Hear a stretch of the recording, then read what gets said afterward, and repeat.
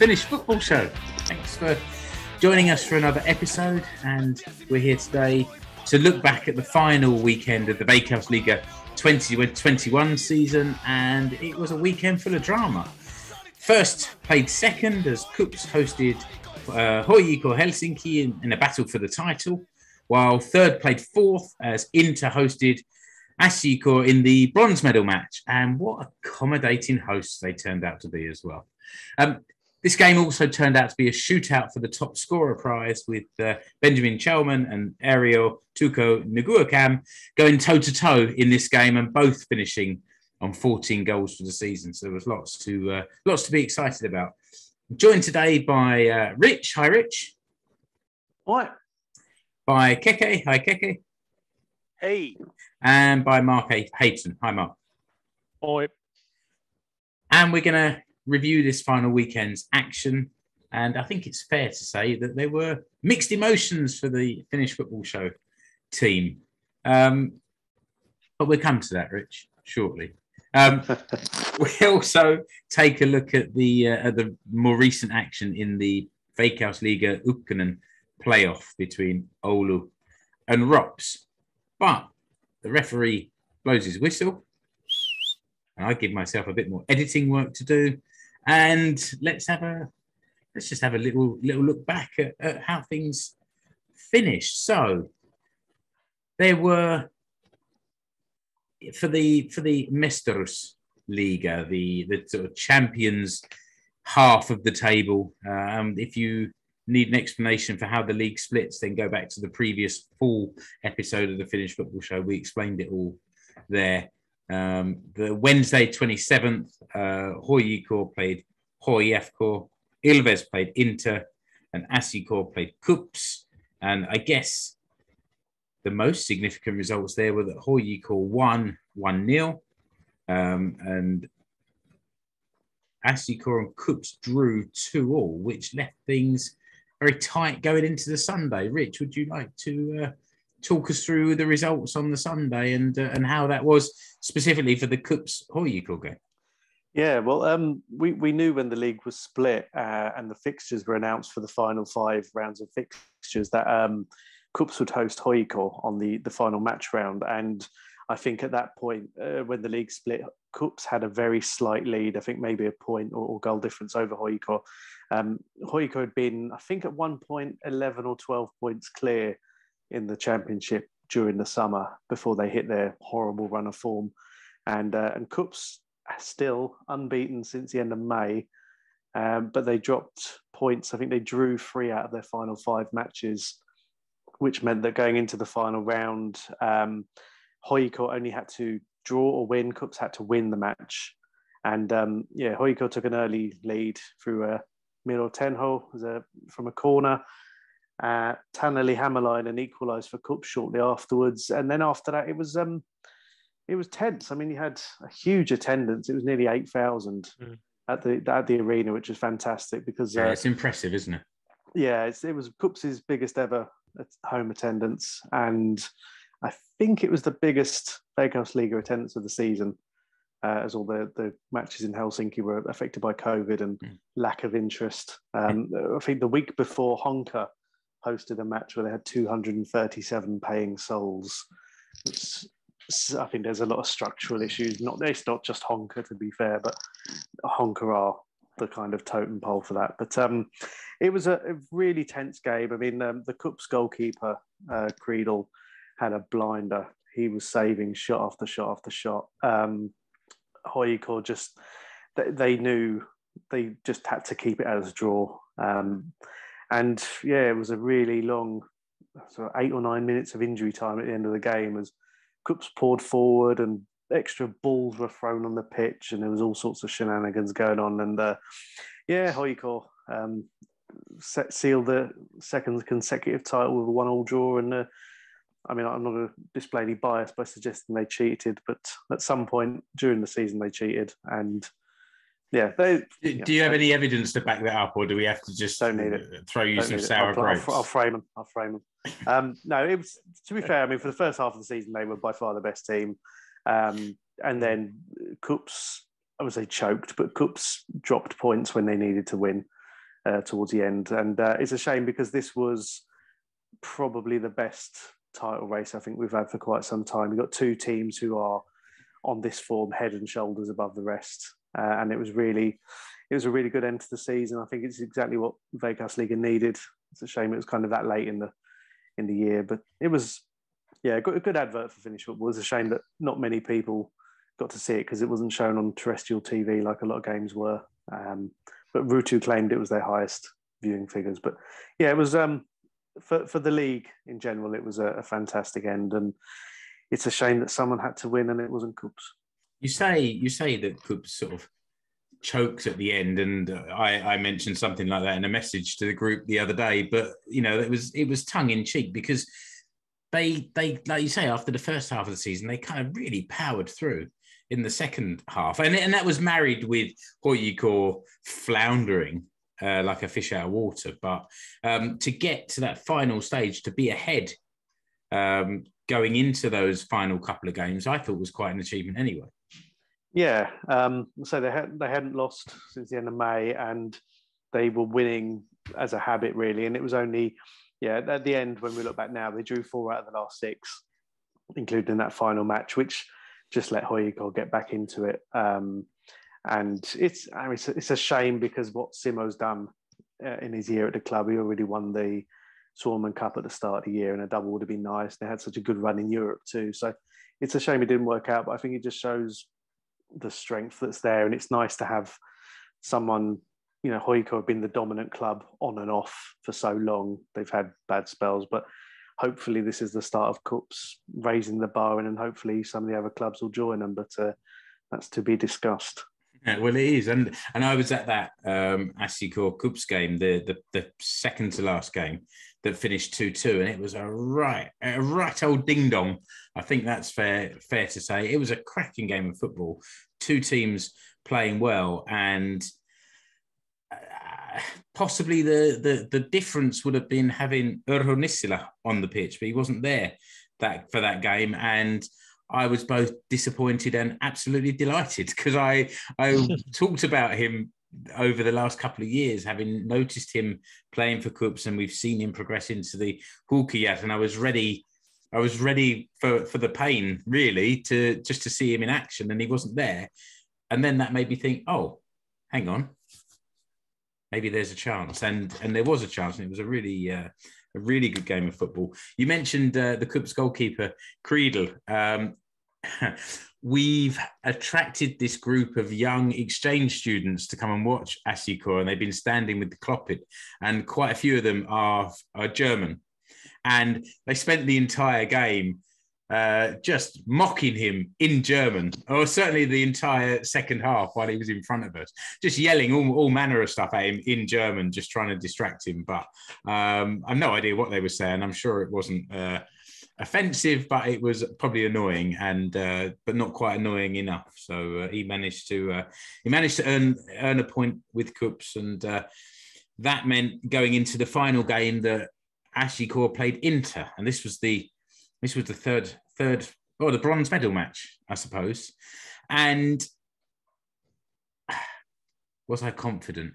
I thought we had a chance, but as things as things were because of I think goal difference and uh, whatever, it, it, was looking like SJK had to win, and a draw would have been enough for Inter to to take the third place, and SJK just went powering ahead to a three 0 lead. It was it was quite something. They they carried on actually playing well as they'd played on on Wednesday against KuPS, and went in 3 0 up at half time. And I think we were all kind of dumbstruck, really.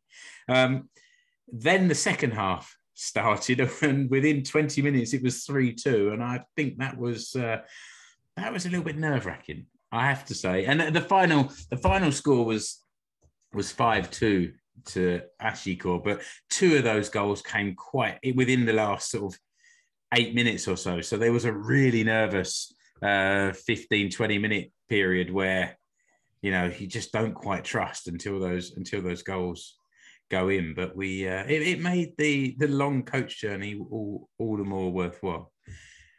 How good was Tuco though? well, now this is a bone of contention, Magic. isn't it?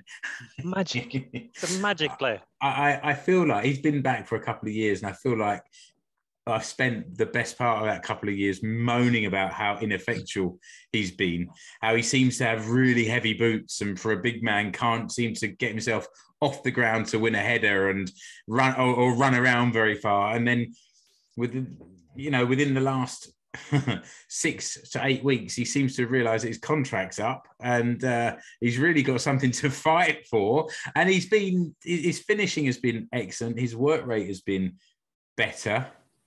I'll keep my compliments to uh, you know to a minimum, and yeah, he's been he's, he's scored a few headers as well, so it shows what I know. But the, the funny thing was, we were in the bus on the way home, and there must have been I don't know. 40 odd people there. And I think there were 39 of them that thought Tuco should be given a new contract because he'd scored 14 goals. And then there was me saying, You've all fallen for it. You've all fallen for the trick. We've been moaning all season, all of you, and I, I I'll call them out. Dormus, you're one of them if you're listening to this, and Julian and Billy, all of you. We've been moaning all season, and because he has this hot streak at the end, you've all fallen for it. Not me.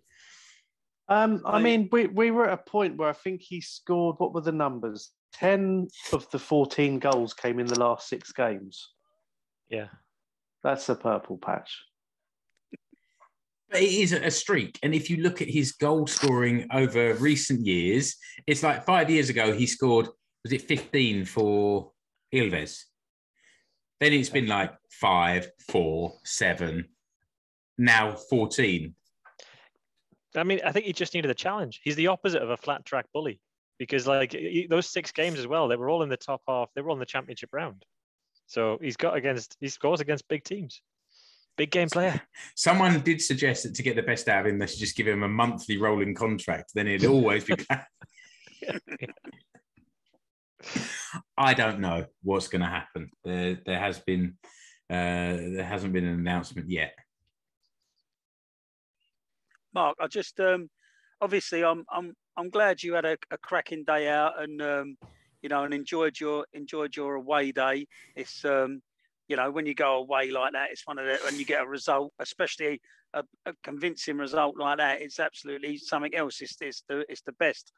But I've got to say, I I personally I did feel a bit sorry for not only Inter Turku but but you know our Timo Furuholm, Veikkaus Liga legend, and and Henrik Moisander, who, who hung up his boots and his gloves at the end of that game for um, for those guys to sort of have to bow out on the end of that kind of thrashing. It was um, it was uh, yeah, it was tinged with a bit a bit of sadness for me because you know those those two guys especially, they've been they've been absolute sort of Inter Turku and Veikkaus Liga sort of stalwarts. Do you know what I mean? So um, yeah, it was. Uh, bit of bit of a bit of a, a shame for them, but I'm glad you uh, glad you and the boys had a good time. Well, it's, it's fair enough that you you give a bit of a little bit of balance. I've, I've done my gloating now. Mark, I- Oh yeah, I wouldn't worry too much because it wasn't. A, I, I wouldn't say that it was a thrashing. So it was three two going the last couple of minutes, and Inter just piled forward like with with an absolute reckless disregard for defending, and Inter already don't have a strong defense. So they just, they, I mean, they in in a sense they went out how anyone would like to go out. Just Yeah, in a mind, mind- mindlessly, blind, mindlessly charging Yeah. forward, and they'd scored and they'd scored the goals. So they and they'd had a few chances as well. It was it was yeah, it was it was nerve wracking. It wasn't an easy five two. It was a it was deserved, but it was close right until yeah, like you say, the last the last few minutes. So But with Um, those guys, with those two guys calling it a day, it's um, it'll be interesting to see how because Inter have been steadily, you know, building and they've added some decent decent players to their ranks, and you know, like um, obviously we know Petri Forsell is there now. He, he came back to Finland and, and joined them. Um, Benjamin Källman, who was who was you know in and around the national team. So I, I, I do hope they manage to to keep keep the pressure on at at the at the top end of the league there. But they've been losing some players too. Um, Jesper Engstrom's gone back to VPS, who come up from Ykkönen, and uh, HJK have signed Arttu Hoskonen, uh, their sort of central defender. So this is the it's that time of year. I mean, HJK are basically signing everyone, aren't they? They signed Joona Toivio, um, Mhm. Pudusuori for next season. Um, they, they've been busy already. So um, Inter have they're going to have to go for a big sort of change. I think they almost lost Rick Ketting, the Dutch defender, during the season to I think it was Toulouse. Um, he stayed. HJK was sniffing around him, and then they're up signing Honkanen instead on a free. Um, so yeah, Inter have got a lot of investment to put in. You, and you've New got to manager as, to find. Sorry. Mm, yeah, new manager, and you've got to think as well the way Ben Källman's been playing. He should be looking. He should be looking somewhere else than the Veikkaus Liga to go apply his trade. I know he's been sort of back and forth and hopping around again, but I think he's ready to give it a, a bit of a shot. But Timo Timo is a great, like a great Veikkaus Liga player, and you know what? He, I think he 10, 10 caps for for Finland, scored twice, so uh, he'll be. He was a good pro, and he'll be greatly missed. I think the other thing is that back in the HJK game, in one sense, it was quite fitting that it finished 1 1 because HJK, I think they didn't actually plow a lot of goals this this season. They weren't that good uh, going forward, but they were very good defensively. So before Daniel O'Shaughnessy the jets off to, to pastures new, I think it was good for him to get another title under his belt, belt with a pretty decent defensive display under under tricky circumstances. Because I thought he was he was awesome against KuPS. What about in the Hasta Hastaja Liga? Um, the the bottom half of the table. Uh, the the one thing I noticed was that that Haka seemed to pick up 14 points. Is that, is that right? 40 or 13 points from those final five games, which is a, a decent run. Stunned Yeah, silence. No one has anything No, to add. Yeah, It's Yeah. difficult. yes, because you're right, Mark. That, that Oh, is yeah. a that is a good run. Um, we, we, doing the doing the maths. Hmm. Yeah, I mean, the, the thing is, is that Lahti have finished where Lahti do seventh. Yeah. Albeit, uh, you know, it's Yeah. that weird thing where they've got more points than the teams in fifth and sixth. But um, it's um, it's just a strange thing. This because there was no European playoff this year, and normally the seventh place team would have gone into that. So Lahti have basically been playing for nothing.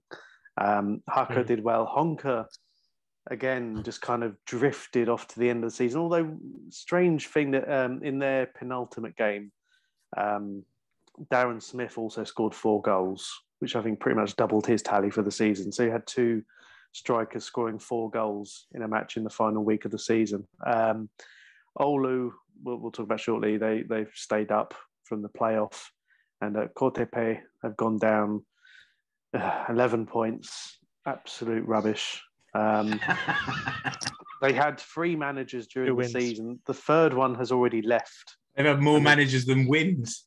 Yeah, um, the, Yeah, the manager who came in who saw them through the season, he's left and he's been replaced by Jussi Lepalati, who I think is like a analytical.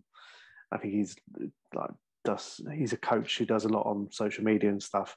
Uh, he was at Yipot, um, so he's basically um, so he's taken over there, and they've had some big thing about that. Basically, the fans are going to choose their kind of playing style. They they didn't like the fact that they were trying to play good football last year, which sent them down. So they're looking at going back to a bit of kick and rush and basics, which got them up. So uh, yeah, it was a um, odd end, but um, yeah, they've been replaced. Uh, the uh, Vepsu from Vasa are back.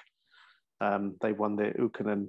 It was a int- that was an interesting season as well because RoPS led for most of the way. Uh, TPS did fairly well in the second half of the season, looked like, and then they both sort of dropped off, and and Vepsu just kind of snuck up and stole it.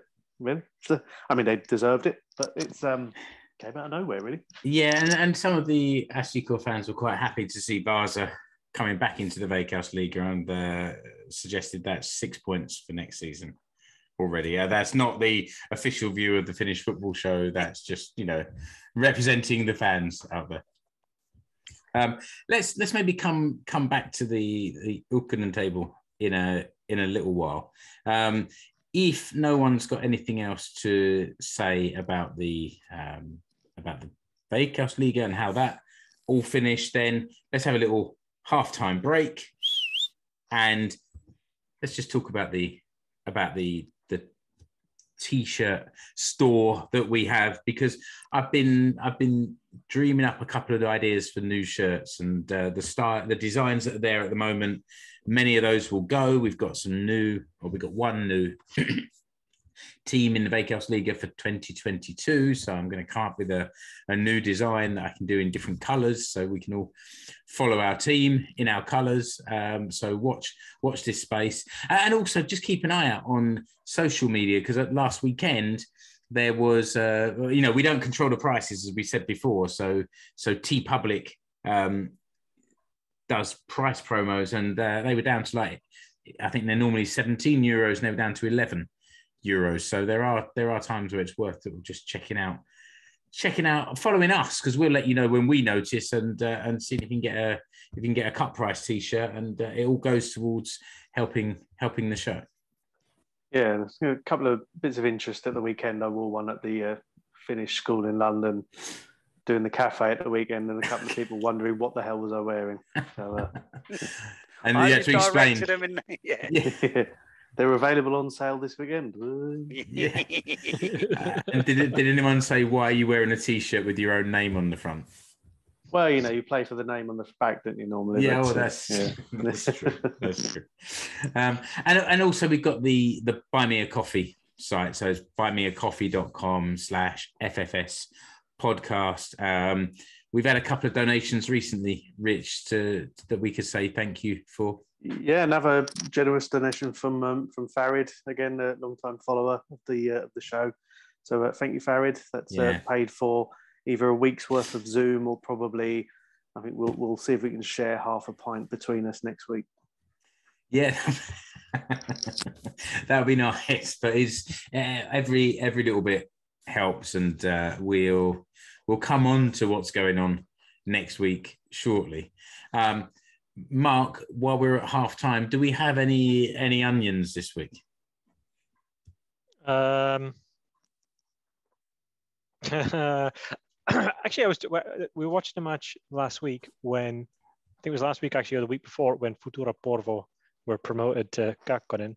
Go on, get in, and um, something came up which I hadn't thought about for ages, but you know, Kuustoist is 16 so Kuustoist is the 18 yard box, but uh-huh. it's 16 because it's meters. So they call it like it's not like it doesn't happen that often, but like you, every now and again you'll say like it's some golden toys Halloween. So he's going into the 60, 16 yard box, and you're like, no, hang on a minute, 16 meter box. So it's not exactly an, on, an onion, but 16 is 18. no, it kind of, it kind of, it kind of is. I think that, I think that works quite nicely. Um, and I need to improve. I think I need to improve my basics as well as these onions. I need to improve various parts of just the game on the pitch, the basic kind of passing, shooting, and and positions on the pitch as well. I'll give you, I'll give you one right now, just real super easy. You could just repeat after me. Tuco on legenda. Ah, Tuco on legenda. Okay, that's the end of the halftime break. We'll come into the second half, and we we've sort of talked about this a little bit already um, in the in the whole kind of Veikkausliiga roundup, but I just added into the into the blog post the notes there, just the the top scorers. Um, we so we we finished with with Tuco and uh, Källman both on 14 and and it was it was quite something because on on on that final game, uh, Tuco scored four to go from 10 to 14 goals.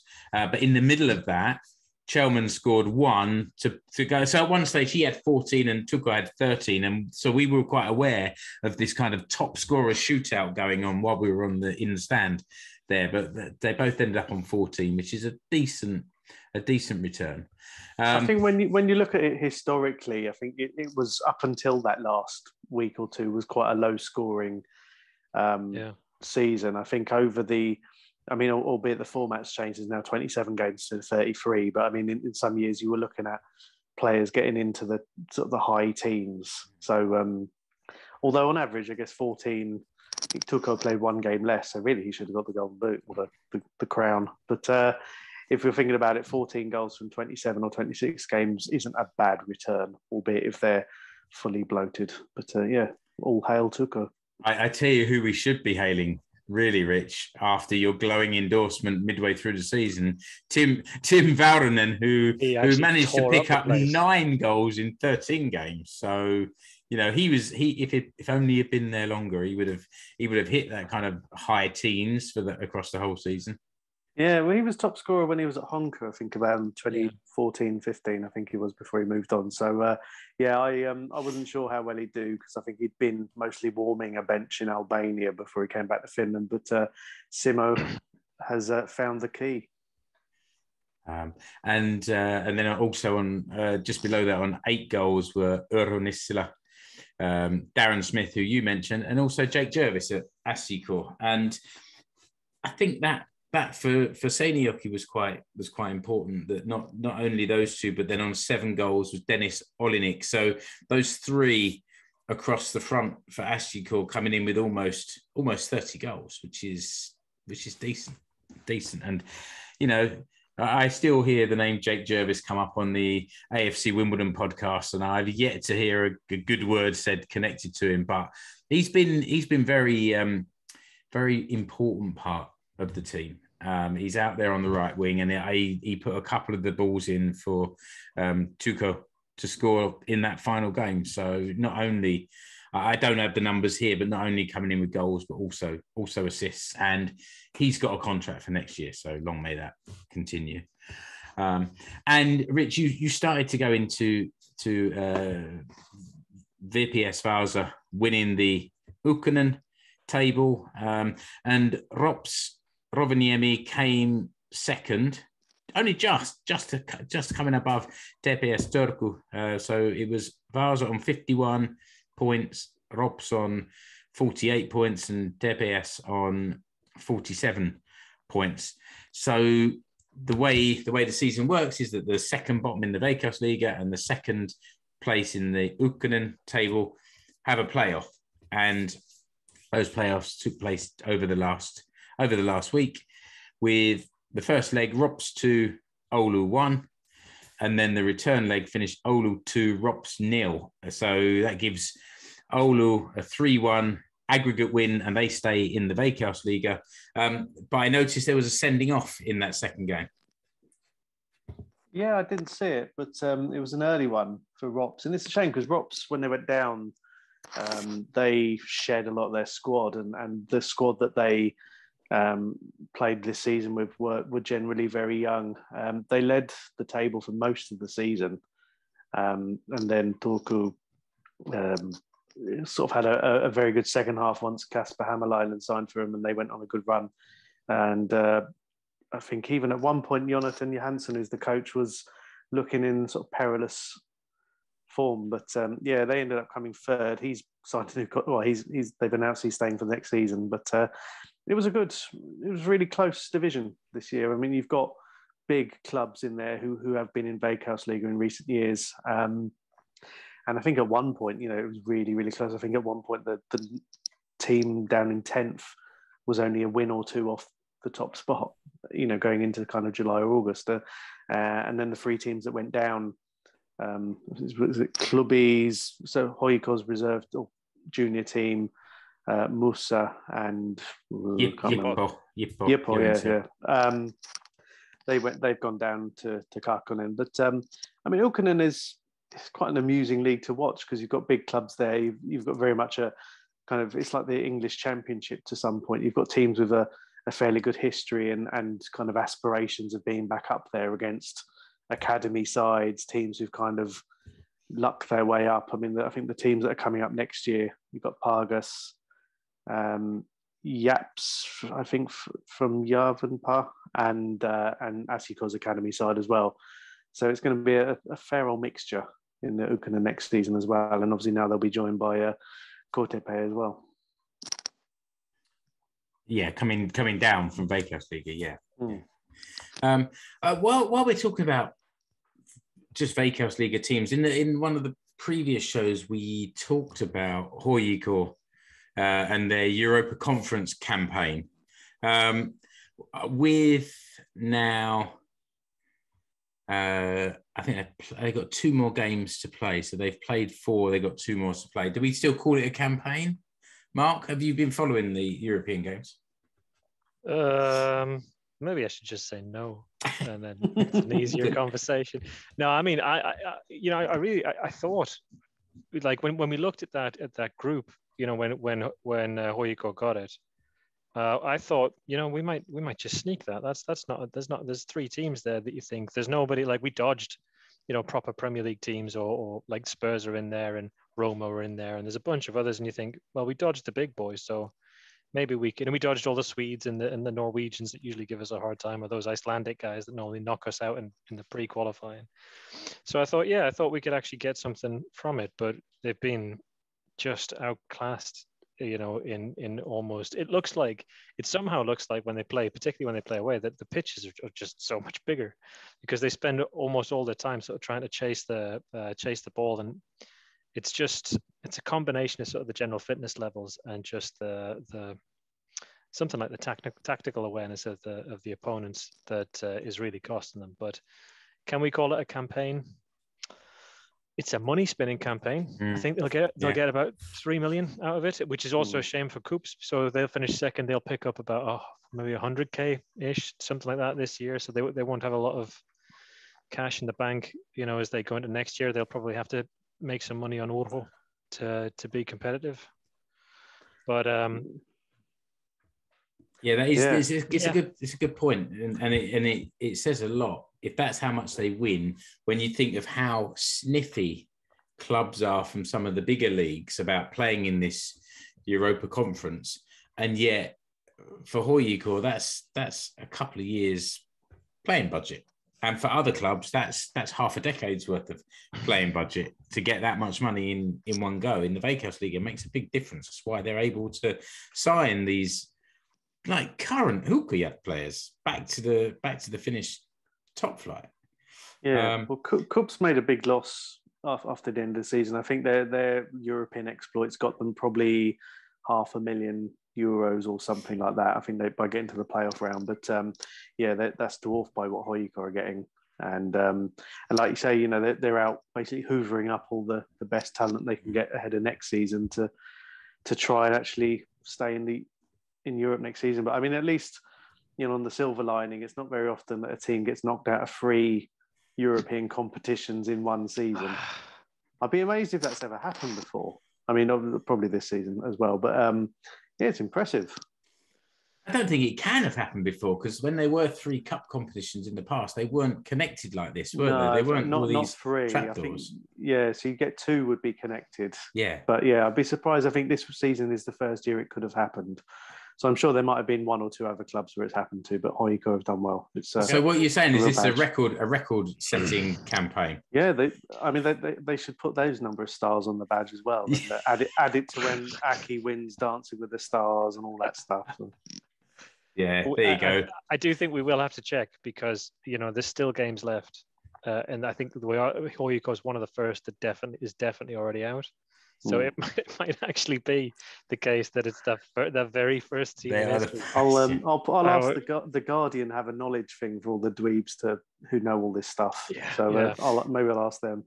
Send get, the, get the dweebs excited. Go on, yeah. do it. Well, I think I reckon for this Veikkaus Liga review that Keke, Keke, yeah, yes, Keke. Oh, sorry, Keke.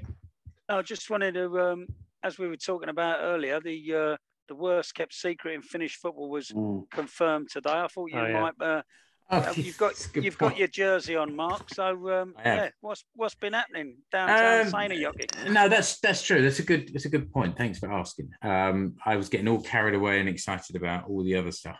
Um, yeah, it was announced today that, that Joaquin Gomez is the new core manager, as we say, the the worst kept secret in football. I think, in fairness to him, um, he he never got involved in all the all the tittle tattle that we were speculating on a couple of months ago. He just wanted to keep his head down and uh, and and kind of get on with the job at HJK, and he did a decent job there. Certainly did. Uh, yeah, and and been announced today, and and sent a a nice message to the to the supporters, um, just saying that you know proud of the opportunity gonna work hard, gonna you know all, all, the sort of things you'd expect to hear, but still nice to nice to hear it.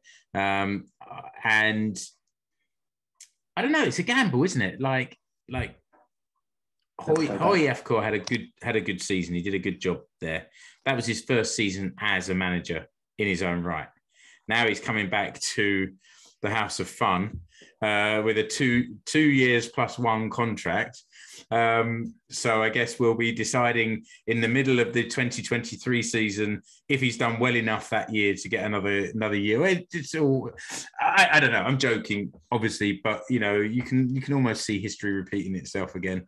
Um, There's a lot of pressure on SJK now. Yeah, I think having having done what they did with Honkavara, and, and you know in hindsight they, they ended up coming third, but um, getting rid of him getting in, bringing in their older system to come back and, and rejuvenate. And they'll, I imagine SJK will be quite active in the transfer market as they usually are as well. Um, you know, there's there's money there, but there's also pressure from the the president, who, you know, now they're back in Europe for the first time in what three four years. Yeah, yeah at least yeah. four, I would say. Yeah. So um, I, I, they, they've, I, they've agree. Put a lot of pressure I agree. On yeah. yeah, and and un, untested, good guy, clearly is is a decent manager. He's young, um, and and not only is is this kind of is there the pressure to be at the top of the Veikkausliiga, but there's a European campaign. SJK have had three. This or this will be the third one they've had, I think. So, you know, there's a lot, there's a lot there. But you know, good luck, Kinney. We're um, we're behind you, and uh, I'll see you soon for that beer. And we got um also leaves a, another couple of clubs looking for managers. So uh, yeah, we'll wait and see.